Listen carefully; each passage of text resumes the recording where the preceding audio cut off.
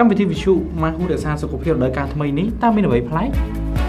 ប្រកាសជាមានកម្មវិធីមកហូរក្សាសុខភាពនៅរដូវកាលថ្មីនេះនឹងផ្ដល់ជូនពុកម៉ែបងប្អូនអ្នកស្ដាប់ពីប្រធានបទសំខាន់សំខាន់គន្លឹះសុខភាពយ៉ាងសម្បូរបែបវាគ្មិនពោពេញទៅដោយចំណេះនិងជំនាញ ការចែករំលែកបទពិសោធន៍និងផ្ដល់ជូនពុកម៉ែបងប្អូនអ្នកស្ដាប់ពីព័ត៌មានសុខភាពនិងសាច់រឿងខ្លីៗស្ដាប់ម៉ែហូរេសាសុខភាពរាល់ថ្ងៃសុខភាពប្រពៃចម្ងល់អំពីសុខភាពសូមតាក់ទងមកលេខ097 22 22 549 097 22 22 549សម្រាប់ការផ្សាយផ្ទាល់តាមរយៈវិទ្យុនៅវេលាម៉ោង5ទៅ6ល្ងាច FM 90 MHz ភ្នំពេញ និងម៉ោង9ទៅ10យប់ FM 101.3 MHz ភ្នំពេញនិងមានការចាក់ផ្សាយឡើងវិញនៅក្នុង Facebook Page Mahu TV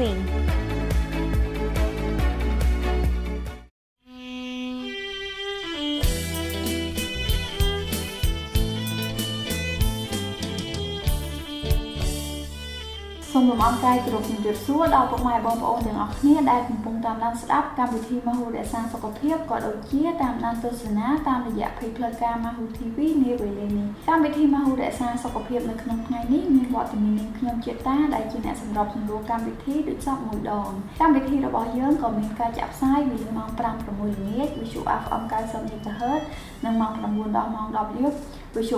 101.3 MHz ពុកម៉ែបងប្អូនក៏អាចស្ដាប់ការចាក់ផ្សាយឡើងវិញតាមរយៈ Page ផ្លូវការ Mahu TV បានផងដែរហើយថ្ងៃនេះផងដែរកម្មវិធី Mahu រក្សាសុខភាពនឹងលើកយកប្រធានបទពិសេសមួយគឺស្ដីអំពីជំងឺដែលមនុស្សចាស់កំពុងតែប្រឈម ហើយការតាមដានស្ដាប់កម្មវិធីមហូរក្សាសុខភាពនៅក្នុងថ្ងៃនេះពុកម៉ែបងប្អូននឹងទទួលបានចំណេះដឹង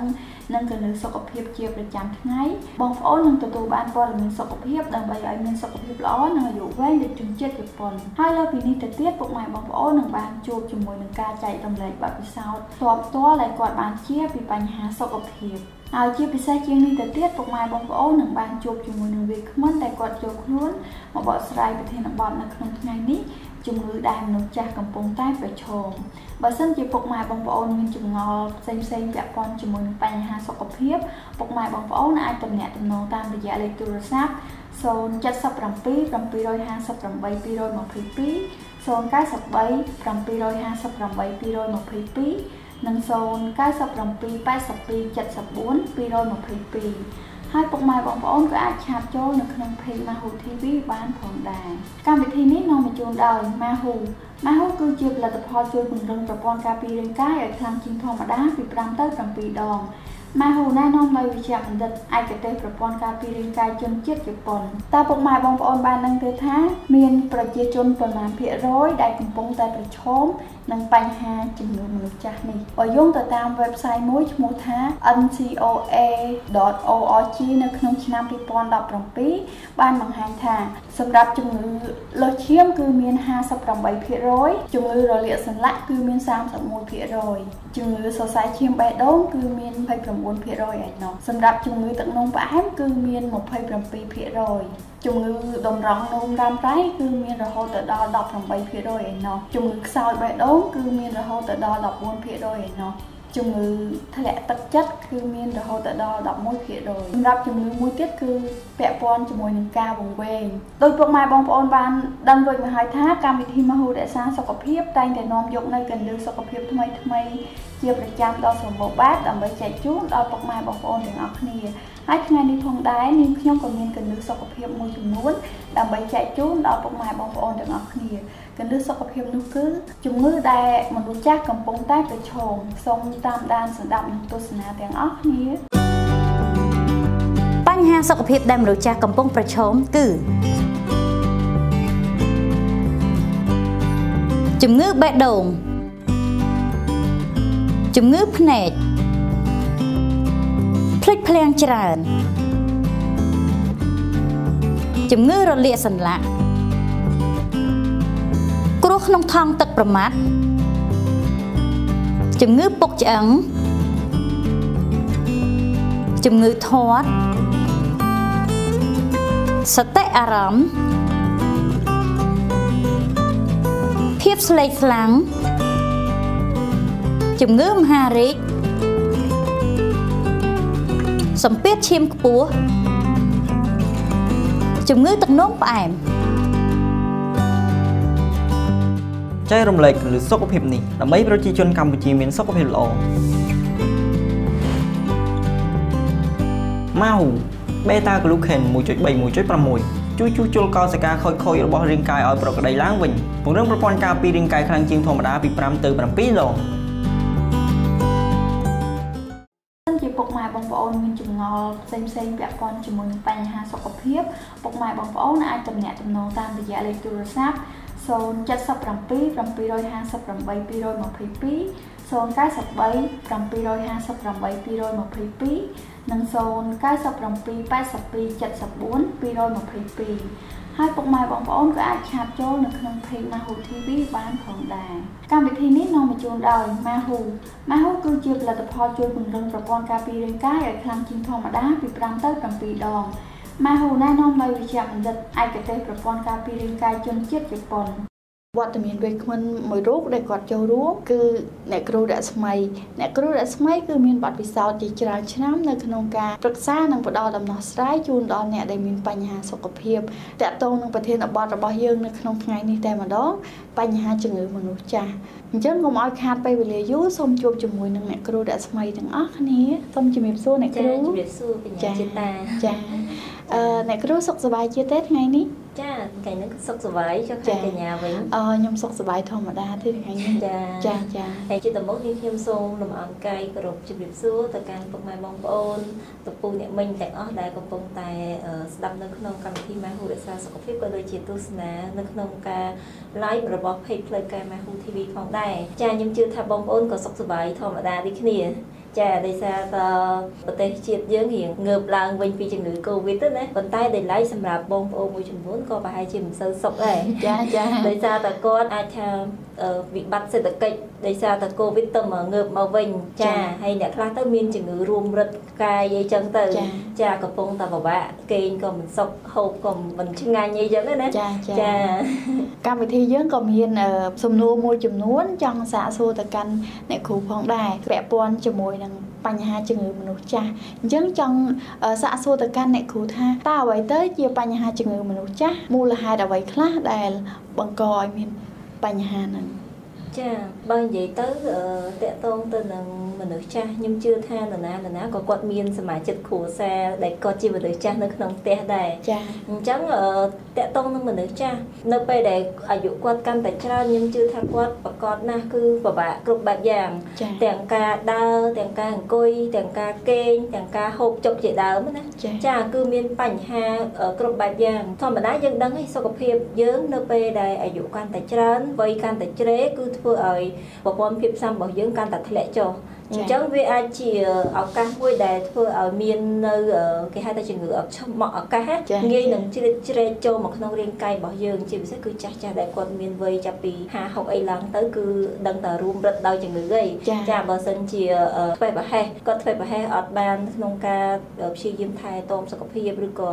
គាត់អាចថាគាត់មមាញឹកក្នុងការងារអីចឹងណាចាដោយគាត់អត់បានគិតសុខភាពជាសំខាន់អីហ្នឹងហើយអ្នកខ្លះទៀតថែសុខភាពដែរប៉ុន្តែគាត់នៅតែខ្សោយ ចាដោយសារអីអាហ្នឹងគឺជាកត្តាសុខភាពពីធម្មជាតិចាព្រោះអីមនុស្សយើងអត់អាចក្មេងមួយជីវិតទេចាចាតែចាស់ទៅសុខភាពយើងកាន់តែត្រឹមត្រូវហ្មងអញ្ចឹងបើសិនជាបងបងដែលគាត់ដែលជាកូនបត្រាបត្រីដែលមានសមាជិកចាស់ចាស់នៅក្នុងផ្ទះគាត់ស្ដាប់នៅក្នុងកម្មវិធីនេះហើយគាត់ត្រូវយកកលឹះមួយចំនួនចាដើម្បីទុកថែរក្សាមនុស្សចាស់របស់ពុកម្ដាយក៏ដូចជា ជាទួតអីហ្នឹងណាចាជីតាអីដែលនៅក្នុងផ្ទះគាត់ហ្នឹងដើម្បីធៀមថែរក្សាសុខភាពពួកគាត់បែបណាដើម្បីឲ្យគាត់មានសុខភាពល្អហើយគាត់នៅតែអាចនៅជាមួយយើងបានយូរអង្វែងតទៅមុខទៀតចា៎ហើយអឺថ្ងៃនេះនាងខ្ញុំនឹងលើកយកពីកត្តាពីជំងឺមួយចំនួន ដែលមនុស្សចាស់ដែលភាគច្រើនគឺគាត់កើតមានតែម្ដង ចាទី1គេហៅថាអឺជំងឺអឺសន្លាក់ ចាធម្មតាជំងឺសន្លាក់នៅពេលដែលយើងចូលដល់វ័យ40ជាង50អីហ្នឹងជាពិសេសស្ត្រី នៅពេលដែលគាត់អស់រដូវ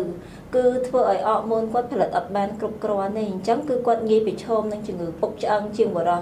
ដែលដែលធម្មតាយើងឃើញចាស់ចាស់ភាគច្រើនទៅវត្តទៅអីចឹងតកូនគ្រីអីចឹងទៅគាត់អង្គុយអ្នកខ្លះឲ្យតែបានអង្គុយស្ពះលោកអីស្រួលទៅបានហើយចាគាត់សុបាយចិត្តចាគាត់សុបាយចិត្តទេតែអ្នកខ្លះអត់ទេទៅវត្តអត់កើតអង្គុយបត់ជើងអត់រួចអញ្ចឹងគាត់អត់អាចទៅបំពេញសិលធ្វើបុណ្យធ្វើទានបានសងំនៅទៅផ្ទះអញ្ចឹងណាចាហ្នឹងគឺជាផលវិបាករបស់គាត់ទេព្រោះអីអឺនៅពេលដែលអាយុយើងច្រើនកំហាប់ឆ្អឹងអាជាតិកាល់ស្យូមរបស់យើងហ្នឹងគឺធ្លាក់ចុះគួរតែរកពពួកកាល់ស្យូមអីហ្នឹងញ៉ាំជាប្រចាំដើម្បីជំនួយឆ្អឹងរបស់គាត់ឡើងវិញ ហើយមួយទៀតមនុស្សចាស់ដែលគាត់ប្រឈមភាគច្រើនគឺជំងឺបេះដូងជំងឺបេះដូងយើងឃើញថាអ្នកដែលគាត់មានវ័យចាប់ពី60ជាងឡើងទៅគឺដឹងតែប្រឈមខ្លាំងអញ្ចឹងបានគេឲ្យគាត់អាសាទៅពិនិត្យសុខភាពពិនិត្យហៅជាតិក្លូយកូសក៏ដូចជាជាតិកូលេស្តេរ៉ុលណាដើម្បីតាមដានសុខភាពគាត់មើលថាគាត់អាចប្រឈមទៅនឹងជំងឺនឹងឬអត់អញ្ចឹងណាចា អញ្ចឹងជំងឺបេះដូងក៏ជាជំងឺសំខាន់មួយដែរហើយចំណុចមួយទៀតគឺតកតងធម្មតាជំងឺមហារីកយើងគ្រាន់តែស្ដាប់មកក៏គួរឲ្យខ្លាចដែរចាគ្រាន់តែលើឈ្មោះគឺមានអារម្មណ៍ថាខ្លាចចាព្រោះជំងឺហ្នឹងបើនិយាយទៅពាក្យថាមហាមហាគឺធំមែនតើចាចាអញ្ចឹងជំងឺហ្នឹងបើបើសិនជាមានអ្នកដែលគាត់មានហើយគឺពិបាកនៅក្នុងការស្ដារមកវិញហើយតាមការសិក្សារបស់យើងយើងឃើញថាមនុស្សចាស់ភាគច្រើនវ័យចាប់ពី65ឆ្នាំឡើងទៅ គឺគាត់ប្រឈមទៅនឹងការស្លាប់ដោយសារជំងឺមហារីកនឹងផងដែរអញ្ចឹងបានអឺអឺទៀមទីឲ្យគាត់ធ្វើមិនយើងត្រូវពិនិត្យសុខភាពជាប្រចាំហ្នឹងដើម្បីតាមដានរកកោសិកានិងបើសិនជាយើងមានយើងអាចទប់ស្កាត់បានទាន់ពេលវេលាផងដែរចា៎ហើយជំងឺមួយទៀតផងដែរដែលមនុស្សចាស់គាត់ប្រឈមគឺតកតងនឹងជំងឺផ្លូវដង្ហើម ចាជំងឺផ្លូវដង្ហើមហ្នឹងមិនមែនបានន័យថាយើងគ្រាន់តែផ្ដាសាយធម្មតាអីគឺអត់ទេបើយើងផ្ដាសាយធម្មតាវាអាចជាដោយខ្លួនឯងប៉ុន្តែជំងឺហ្នឹងគឺតកតងទៅនឹងសួតចាមនុស្សចាស់គាត់អាចមានជំងឺមានការធ្វើទុកប្រលាកសួតអីចឹងទៅអញ្ចឹងអាហ្នឹងគឺជាហានិភ័យមួយដែលគាត់ប្រឈមដែរបើសិនជាកាលពីក្មេងគាត់ចូលចិត្តជក់បារីឬក៏ញ៉ាំភេសជ្ជៈគ្រឿងសង្វឹងគ្រឿងអីច្រើនអីហ្នឹងណាចាចាស់ទៅគឺដឹងតែប្រឈមហ្មងចា ហើយជំងឺមួយទៀតដែលនាងខ្ញុំចង់លើកឡើងដែរគឺជំងឺគេហៅថាបាត់បង់ការចងចាំជាទូទៅបងកញ្ញាជាតាដែលឃើញមនុស្សចាស់គាត់ អាសាងវែងរត់ដើរចេញពីផ្ទះអីចឹងណាចាខ្ញុំធ្លាប់ជួបហ្មងជាក់ស្ដែងខ្ញុំជួបផ្ទាល់សមាជិកគ្រួសារខ្ញុំអញ្ចឹងបានយើងភ័យប្រយ័ត្នមែនតើនៅពេលដែលអត់មានអ្នកណានៅផ្ទះចឹងយើងទុកគាត់ចោលនៅផ្ទះតែឯងអត់ហ៊ានចំហទ្វារខ្លាចគាត់លួចគាត់គាត់អត់ដឹងគាត់ដើរចេញទៅក្រៅបាត់ដោយអត់ដឹងណាអញ្ចឹងជំងឺនៅពេលដែលគាត់ឈានចូលដល់វ័យចាស់គឺគាត់ងាយនឹងមានជំងឺភ្លេចភ្លាំងឬក៏ជំងឺវែងហ្នឹងដែលធ្វើឲ្យគាត់ពិបាកនៅក្នុងការចំណាំសមាជិកគ្រួសារក៏ដូចជាហៅថាផ្លិចមុខកូនចៅអីចឹងឬក៏ផ្លិចរបស់របរដែលគាត់ធ្លាប់ប្រើប្រាស់អីចឹងណាចាហ្នឹងក៏ជាកត្តាប្រឈមសម្រាប់មនុស្សចាស់ផងដែរចាហើយអឺហើយមួយទៀតអឺតកតងទៅនឹងជំងឺធ្លាក់ទឹកចិត្តចាធម្មតានៅពេលដែលវ័យគាត់អាយុកាន់តែច្រើនសុខភាពគាត់ខ្សោយគឺធ្វើឲ្យប្រព័ន្ធភាពស៊ាំធ្លាក់ចុះដែលជាកត្តាឲ្យគាត់មានជំងឺធ្លាក់ទឹកចិត្ត អញ្ចឹងទៅយើងឃើញភាគច្រើនស្លោគេគេនិយាយថាទៅក្មេងម្ដងទៀតចាចាអញ្ចឹងបានន័យថាពេលខ្លះយើងសំដីធ្ងន់ដាក់គាត់ឬក៏និយាយអីទៅយើងគាត់ឆាប់ខឹងឆាប់អន់ចិត្តឆាប់ងអីចឹងណាចាអញ្ចឹងមិនមែនគាត់ចង់អញ្ចឹងទេតែដោយសារតសុខភាពរបស់គាត់អញ្ចឹងពេលហ្នឹងគឺជាពេលមួយដែលយើងត្រូវថ្នមចិត្តគាត់យើងនិយាយអីចឹងទៅកុំសូវប៉ះទង្គិចអារម្មណ៍គាត់ខ្លាំងពេកព្រោះគាត់ឆាប់នឹងបាក់ទឹកចិត្តណា ហើយជំងឺមួយទៀតដែលនាងខ្ញុំចង់លើកឡើងដែរគឺតកតងនឹងទល់លាមកចាទល់លាមកដោយសារតប្រព័ន្ធភាពផ្សំគាត់ធ្លាក់ចុះធ្វើឲ្យប្រព័ន្ធពលាហារបស់គាត់ពិបាកនៅក្នុងការធ្វើការដូចមុនអញ្ចឹងនៅពេលដែលអាហារល្មមល្មមដែលយើងជ្រើសរើសឲ្យគាត់ញ៉ាំដូចជាពេលខ្លះគាត់ហូបបាយច្រើនហ្នឹងគាត់ធ្វើទុកពវៀនដែរចាដូចទូតខ្ញុំជាក់ស្ដែងអញ្ចឹងពេលយើងមានកម្មវិធីជប់លៀងអីចឹងណាមានម្ហូបឆ្ងាញ់ឆ្ងាញ់អីចឹង យើងចង់ឲ្យគាត់ហូបដែរស្រាប់តែហូបហើយដឹងតែកុសខ្យល់ចាព្រោះអីពវៀនកាពះមនុស្សចេះអត់ដូចយើងក្មេងទេយើងហូបប៉ះប៉ះតែរបស់ជូរបន្តិចរបស់រឹងបន្តិចគឺដឹងតែធ្វើទុកឯងហើយគាត់ងាយប្រឈមនឹងជំងឺទល់លាមកឯងអញ្ចឹងបើសិនជាល្អអម លលោកតាលោកយាយដែលគាត់មានជំងឺទល់លាមកហើយបាច់លាក់កូនចៅទេប្រាប់ពួកគាត់ទៅឲ្យគាត់ដឹងទៅស្រួលយើងជ្រើសរបបអាហារណាដើម្បីឲ្យគាត់ហូបទៅពវៀនគាត់ដំណើរការបានល្អឬក៏យើងប្រើវិធីសាស្ត្រជ្រើសរើសផលិតផលអីដើម្បីគាត់ទៅណាចាហើយចំណុចមួយទៀតដែលនាងខ្ញុំចង់លើកឡើងតកតងទៅនឹងសុខភាពរបស់មនុស្សចាស់គឺគាត់មានការបបាក់ក្នុងការស្ដាប់ដូចជាការមើល ប៉ុន្តែដោយសារតបច្ចុប្បន្នយើងជឿនលឿនដែរយើងមានរបស់ឧបករណ៍ជំនួយដូចជាវ៉ែនតាក៏ដូចជាឧបករណ៍ជំនួយការស្ដាប់អីចឹងអញ្ចឹងគឺគាត់អត់សូវប្រឈមហ្មងនេះអញ្ចឹងបានគេថាចាស់ទៅខ្សោយគ្រប់បែបយ៉ាងចាភ្នែកក៏ខ្សោយគ្រឿងក្នុងក៏ខ្សោយចាអញ្ចឹងបើសិនជាខ្សោយហើយយើងចេះរករបស់ការពារចេះរករបស់ជំនួយដូចយើងឃើញជនជាតិជប៉ុនណាចាចាគេគេមានអាហារបំពន់ល្អល្អញ៉ាំដើម្បីជំនួយសុខភាពប៉ុន្តែ គេមើលទៅក្មេងចាអ្នកខ្លះអាយុ50 60ហើយមើលទៅដូចនៅត្រឹម30អីចឹងណាកម្លាំងគាត់គឺខ្លាំងជាងប្រជាជននៅក្នុងប្រទេសផ្សេងផ្សេងចា អញ្ចឹងគ្មានអ្វីដែលថាថាយើងម្នាក់ម្នាក់មិនមានអ្នកណាដែលមានជីវិតអមតៈទេប៉ុន្តែបើយើងចេះការពារយើងអាចបន្តអាយុជីវិតយើងបានវែងជាងមុនថែមមកកម្រិតទៀតទេសំណួរពីប្រិយមិត្តរបស់យើង តាមរយៈ Mahu TV គាត់សាកសួរថាតើមានវិធីសាស្ត្រអ្វីខ្លះដើម្បីបង្ការឬក៏ព្យាបាល បញ្ហាជំងឺមនុស្សចាស់នេះបានអ្នកគ្រូចាអឺតកតងនឹងសុខភាពមនុស្សចាស់អឺល្អប្រក្រតី ទាំងផ្លូវកាយក៏ដូចជាផ្លូវចិត្តក៏ដូចជាគាត់អាចរស់នៅឯករាជ្យដោយខ្លួនឯងទោះបីគាត់មិនអាចដូចកាលពីក្មេងប៉ុន្តែគាត់អាចធ្វើអីខ្លួនឯងដូចជាចូលបន្ទប់ទឹកខ្លួនឯងឬក៏ហូបបាយកាន់តែព្រាអីហូបខ្លួនឯងអាហ្នឹងក៏ជារឿងមួយដែលយើងមានសំណាងបំផុតទេចាកុំឲ្យតែគាត់នៅនឹងកតេលយើងត្រូវបញ្ចុកបាយបញ្ចុកទឹកអាហ្នឹង គឺពិបាកសម្រាប់សមាជិកគ្រួសារប៉ុន្តែបើគាត់ធ្វើរឿងទាំងអស់នឹងបានបានន័យថាជារឿងមួយដែលគ្រាន់បើចាកុំឲ្យពិបាកដល់កូនចៅពេកណាហើយតកតងនឹងចំណុចដែលអាចធ្វើឲ្យមនុស្សចាស់ដែលគាត់មានសុខភាពល្អចាដែលយើងអាចអនុវត្តនៅផ្ទះបានទី1 ធ្វើមិនយើងត្រូវឲ្យគាត់សុបាយចិត្តចាសុបាយចិត្តគ្រាន់តែសមាជិកគ្រួសារយកចិត្តទុកដាក់មួយគាត់អីចឹងណាចាថែទាំសុខភាពគាត់ឲ្យបានដិតដល់ព្យាយាមយកគាត់ទៅលំហែមើលទេសភាពពណ៌បៃតងអីចឹងទៅដើម្បីជំនួយភ្នែករបស់គាត់ក៏ដូចជាធ្វើអារម្មណ៍គាត់ស្រស់ថ្លាជាដើមចាទី2គឺគាត់ត្រូវព្យាយាមមើលថែរបបអាហារគាត់ឲ្យបានត្រឹមត្រូវអ្នកខ្លះគាត់មនុស្សចាស់ធម្មតាយើងដឹងគាត់អត់មានថ្មិញទេ ថ្មិញគាត់អន់អញ្ចឹងយើងពេលដែលយើងរៀបបាយរៀបទឹកអីគាត់ប្រសាយើងត្រូវហាន់ទូចទូចអញ្ចឹងទៅបន្លែសាច់អីចឹងទៅយើងកុំដាក់ទាំងដុំទាំងដុំអីគាត់ព្រោះអីគាត់ខំអត់ដាច់ទេ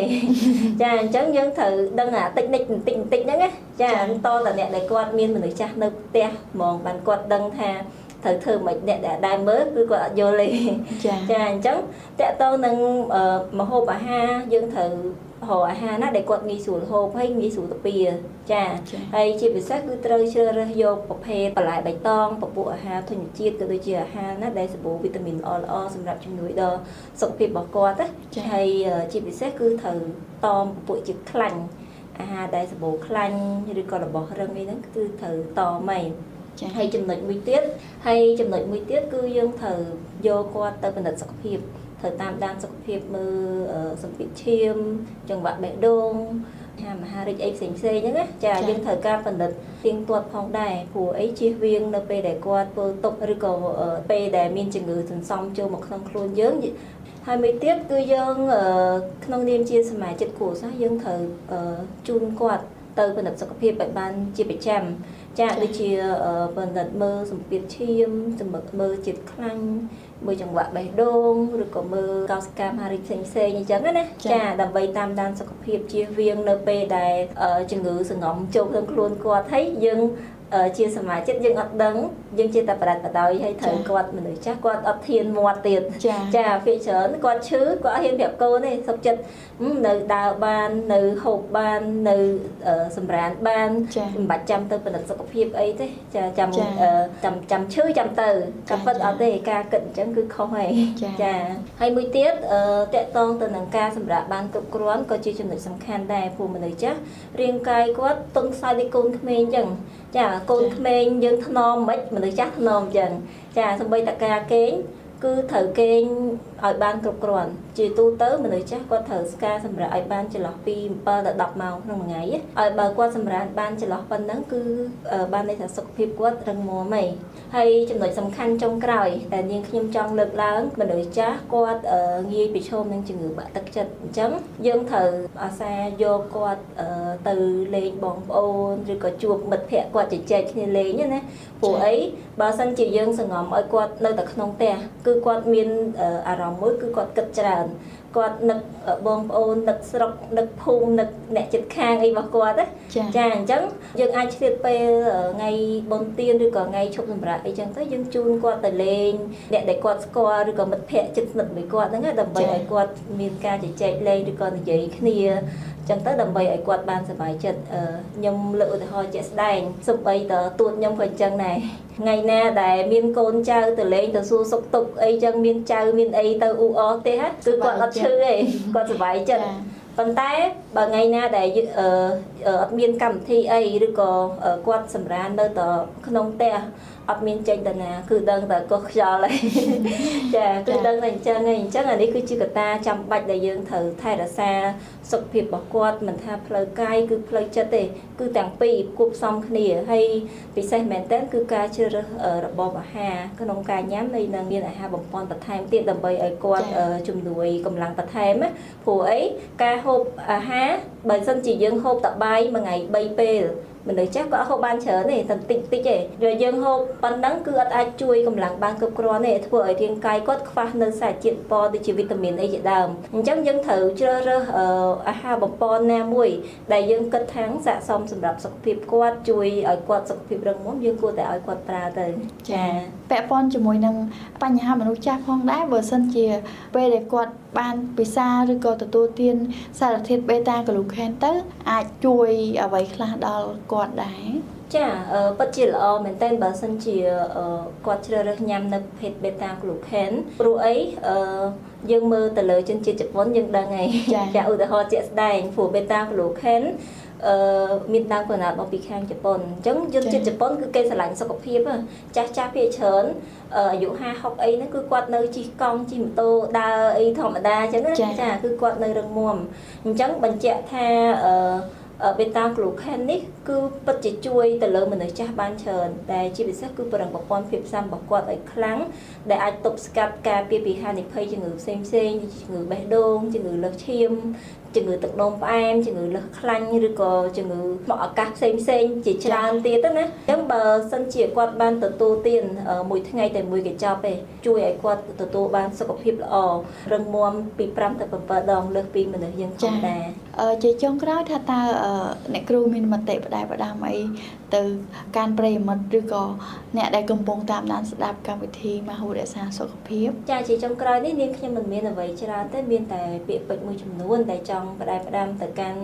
លោកតាលោកយាយឬក៏ល្អអ៊ំគាត់ខ្សោយនៅចំណុចណាគួរតែប្រាប់កូនចៅចាកុំលាក់ទុកចាហើយបត្រាបត្រីដូចគ្នាដែរបើសិនជាឃើញហើយយើងត្រូវបង្កើនការថែទាំក៏ដូចជាយកចិត្តទុកដាក់ចំពោះគ្រួសារគាត់ឲ្យបានច្រើនព្រោះអីគ្មានអីខ្លាំងជាងការផ្ដល់កម្លាំងចិត្តពីអ្នកទេសទេចាទោះបីឆ្នាំទឹកបកែមកពីឋានណាក៏ដោយការលើកទឹកចិត្តពីសមាជិកគ្រួសារគឺសំខាន់បំផុតអញ្ចឹង អឺថ្នាំឬក៏ផលិតផលគឺគ្រាន់តែជាផ្នែកមួយដែលយើងជួយពីក្រៅបន្ថែមទៀតទេចាតែផ្លូវចិត្តរបស់យើងគឺសំខាន់ជាងចាចាអរគុណច្រើនចាអញ្ចឹងអរគុណច្រើនអ្នកគ្រូសម្រាប់ការចែករំលែកពាក់ព័ន្ធជាមួយនឹងបញ្ហាមនុស្សចាស់នៅក្នុងថ្ងៃនេះ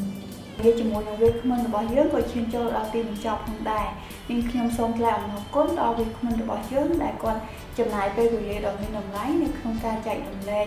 គន្លឹះសុខភាពនិងវិធីសាស្ត្រក្នុងការថែទាំសុខភាពដល់ពុកម៉ែបងប្អូនទាំងអស់គ្នានាងខ្ញុំសូមបានជួបជាមួយនឹងវាគ្មិនដែលគាត់មានបទពិសោធន៍រួចមកហើយ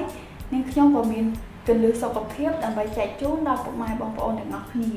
គន្លឹះសុខភាពនោះគឺជំងឺដែលមនុស្សចាស់កំពុងតែប្រឈមសូមតាមដានសម្ដាប់និងទស្សនាទាំងអស់គ្នា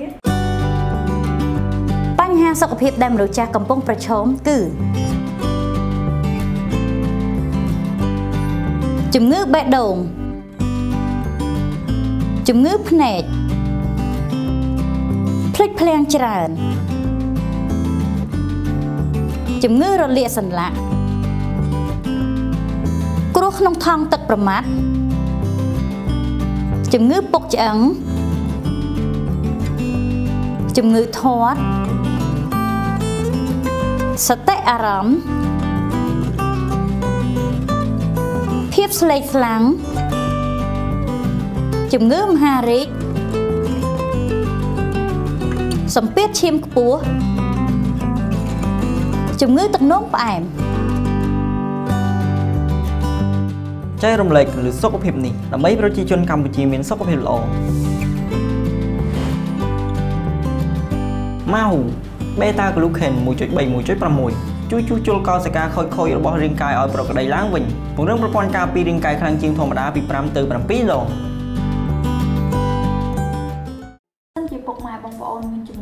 ផ្សេងផ្សេងពាក់ព័ន្ធជាមួយនឹងបញ្ហាសុខភាពពុកម៉ែបងប្អូនអាចទំនាក់ទំនងតាមរយៈលេខទូរស័ព្ទ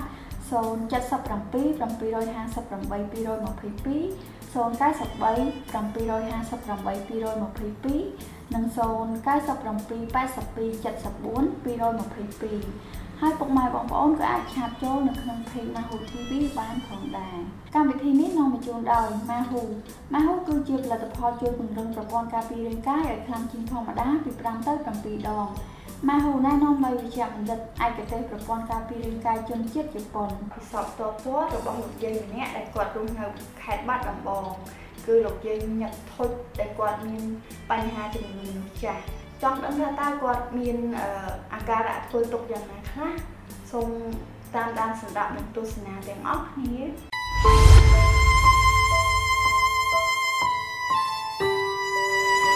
ដៅឆ្អឹងខ្នងដៅឲ្យហត់ហត់ឲ្យក្អួតមកសាច់ឈាមមើលបន់ឲ្យងាប់បង្យាយនឹងងាប់ដូចមាត់ទៅចោះបាក់ទ្រាំ បាក់ទ្រាំមែនទេខ្ញុំច្រើនមកបាក់កូនលើគុំខ្នងដៅឲ្យហត់ហត់ឲ្យក្អួតមកសាច់ឈាមដំបងឈាមប្រានតិចតិចក៏ក្អួតច្រើនដងក្រហមខ្លាំងហើយអូយហត់នៅធ្វើទុកកកទឹកមាត់មកជាមូលមកច្រៅច្រៅមកជ្រាវមកដល់ឆ្អឹងខ្នងក្អួតអត់ចេញទេវាធ្វើទុកកកហ្នឹងហើយនិយាយស្លេះมันមកច្រើនទេដូចថាគេអត់ដូចបោះ នៅតែនឹងខានោះខាឡើងឆ្អាកកខាយូយួរឈឺកកកដាលភាពបានជួនកាយលមូលមកនេះតែស្អីកអមួយតកចាប់ពេញកបាយបាយដាក់ម្ដុំម្ដុំយកមកទុកទៀនខ្លួននឹងគ្រប់មើលធ្វើទុករៀងក្តៅកលមូលអញ្ចឹងទៅពីបាយព្រួយទឹកទីតិចទឹកពីពីលេបមកដូចវាបាត់ខួលហើយណាបាយប្រចាំការរាល់ថ្ងៃព្រៀនស្វាយទុំណាគូចិត្តស្វាយទុំហូប មកទាំងអស់ចេះងើបាត់រួចទេដើរដល់ជួយគាត់ជួយគាត់ថានេះក៏មានហាននោះក៏មានដើររួចប៉ុន្តែចេះចង់កិលទៀតណាមិនចង់ចំដើចង់កិលទៀតថ្ងៃថ្ងៃណាទៅក៏លក់ថ្ងៃណាទៅក៏ធ្វើទុកថ្ងៃណាទៅក៏អន់ហត់ថ្ងៃណាទៅក៏ចាប់ដើមហត់អស់ខ្ញុំមកយកខ្ញុំដឹងនេះអីទៅមកទៅថាមើលបន់ឲ្យងាប់និយាយនឹងងាប់ដូចងាប់ទៅចោះបាក់ទ្រាំបាក់ទ្រាំមែនទេ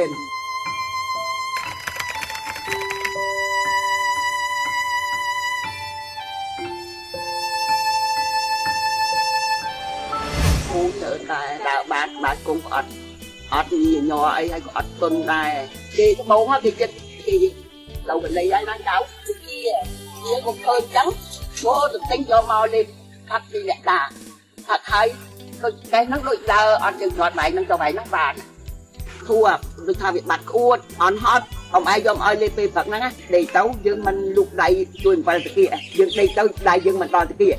ជួយចាប់អៀងគេកាលកាលអមឯងតន់ឲ្យដល់អមឯងយកឲ្យពេលព្រឹកម៉ោង8 9ណោះដល់យប់ហ្នឹងដេកទៅដាច់ប្រែចេះបានចាកាលអមឯងគាត់អត់អញចង់បែរខ្លួនមកនេះបងបែរអត់មួយយកយកដៃជួយជួយជួយលើកលើកទៅម្ខាងមកដំបូងដែរស្អាតកូនគាត់ទេខ្ញុំនៅលក់អីវ៉ាន់នោះអីកូនហ្នឹងក៏ប្រាប់ខ្ញុំទៅវាក៏ដូចចិត្តទៅប្រាប់ម៉ែទៅម៉ែមកមិននិយាយ មកវិញយកមកចៃចៃលេបហើយយប់ហ្នឹងដេកប្រែមិនបាច់យកដៃជួយទេ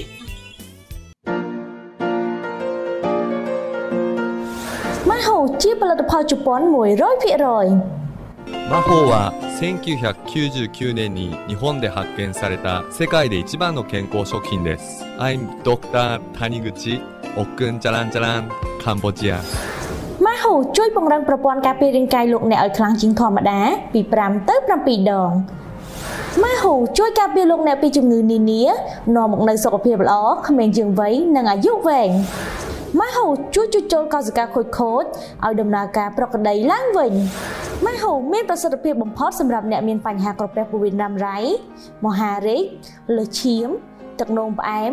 និងជំងឺជាច្រើនមុខទៀតម៉ាហូមានរូបរាងជាចំហួយទន់ទន់ច្រកក្នុងកញ្ចប់ងាយស្រួលក្នុងការទទួលទាននិងដាក់តាមខ្លួន ម៉ាហូមានទុកទៅដោយសារធាតុ beta glucan 1.3 1.6ដែលផលិតដោយ Labo Oreo ក្នុងខេត្ត Chiba ប្រទេសជប៉ុនម៉ាហូទទួលបានប៉ាតុងស្រាវជ្រាវគុណភាពពីប្រទេសចំនួន35ព្រមទាំងទទួលស្គាល់ពីក្រសួងសុខាភិបាលនៃប្រទេសជាណាចក្រកម្ពុជាសម្រាប់ព័ត៌មានលម្អិតពីផលិតផលម៉ាហ៊ូសូមទំនាក់ទំនងមកលេខទូរស័ព្ទ077 758 222 077 758 222 093 753 222 093 758 222និង097 82 74 222 097 82 74 222 ពុកម៉ែបងប្អូនមានចម្ងល់ផ្សេងផ្សេងពាក់ព័ន្ធជាមួយនឹងបញ្ហាសុខភាពពុកម៉ែបងប្អូនអាចទំនាក់ទំនងតាមរយៈលេខទូរស័ព្ទ077 758 222 093 758 222និង097 82 74 222ហើយពុកម៉ែបងប្អូនក៏អាចឆាតចូលនៅក្នុង page Mahu TV បានផងដែរកម្មវិធីនេះនាំមកជូនដោយ Mahu Mahu គឺជាផលិតផលជួយពង្រឹងប្រព័ន្ធការពាររាងកាយឲ្យខ្លាំងជាងធម្មតាពី5ទៅ7ដងម៉ាហ៊ូណែនាំដោយវិជ្ជាបណ្ឌិតឯកទេសប្រព័ន្ធការពាររាងកាយជនជាតិជប៉ុនបងប្អូនទាំងអស់គ្នាមកដល់ពេលនេះកម្មវិធីម៉ាហ៊ូរក្សាសុខភាពក៏ឈានចូលដល់ទីបញ្ចប់ផងដែរ នាងខ្ញុំចិត្តតាជាវិធីការនីសូមថ្លែងអំណរអគុណដល់ពុកម៉ែបងប្អូនទាំងអស់គ្នាដែលចំណាយពេលវេលាដ៏មានតម្លៃនៅក្នុងការតាមដានស្ដាប់កម្មវិធីម៉ាហ៊ូរក្សាសុខភាពនាងខ្ញុំក៏សូមជូនពុកម៉ែបងប្អូនទាំងអស់គ្នាឲ្យមានសុខភាពល្អនិងសំណាងល្អគ្រប់ក្រុមគ្រួសារសូមអរគុណសូមជម្រាបលា